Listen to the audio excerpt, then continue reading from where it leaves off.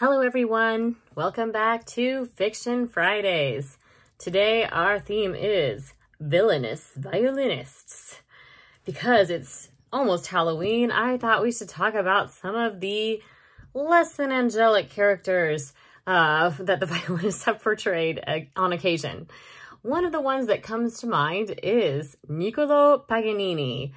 He was a 19th century virtuoso, basically a rock star of his day. But he allegedly sold his soul to the devil in order to play like the genius that he was. And there's an entire movie devoted to his life. He was quite the womanizer. And yes, definitely one of the most uh, challenging composers for performers to play.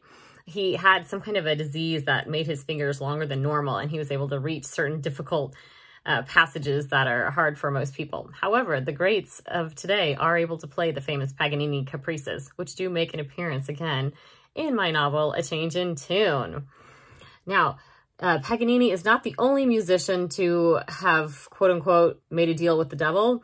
Even in more contemporary and uh, literature and even uh, different styles, the Charlie Daniels Band, Devil Went Down to Georgia, the devil wants to make a bet with Johnny the fiddle player and thinks that he can beat him on, on a violin kind of dueling pianos, dueling violin standoff.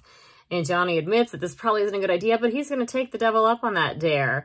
And in the end, fortunately, Johnny does win out over the devil and he is able to keep his soul. But he does say that the devil can come back and challenge him any other time he wants to because he's the best one at the instrument.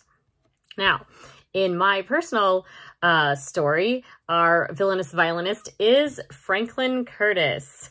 And he is kind of the Draco Malfoy, I guess, if you will, of my of my story. And it's kind of funny. My editor, my developmental editor, when she was reading it, she goes, I know I'm supposed to hate him, but you gave him the best lines. And isn't that true? Sometimes those villains just steal the limelight on occasion because they, they bring out um, different aspects of our personalities. Uh, poor uh, Franklin, he's the Enneagram 8 character, so kind of that challenger personality. And yeah, he really gives Victoria a run for her money. And I think that it's kind of fun to see that even though we frequently are portrayed very angelic in, in, in violin, you can see a bit of the edgy side as well in some of the, the music and literature. In terms of Franklin, I have this fabulous design here made by my uh, artist. And it says, don't pull my strings. I thought the tagline was pretty good. I came up with the taglines, but she did the uh, illustrations. And it just really kind of gives the impression of, yeah, the the uh, somewhat more grouchy musician or maybe a teacher who's heard one too many out of tune notes. So this design actually is my featured design of the month.